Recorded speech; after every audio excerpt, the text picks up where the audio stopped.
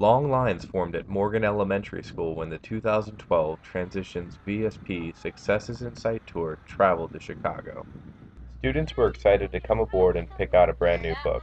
There were hundreds to choose from, but the kids made quick picks and jumped off the bus with book in hand, eager to start reading. Cell shop in an old subway car run by the Russo family was quiet. But not everyone had an easy time. One fifth grader had to search the shelves to find the perfect story. Hi, my name is Sabria Jackson and I love books.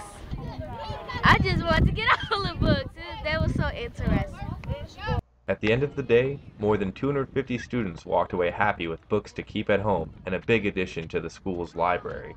Anything else you want to say about the school or the uh, anything else here? We need more books.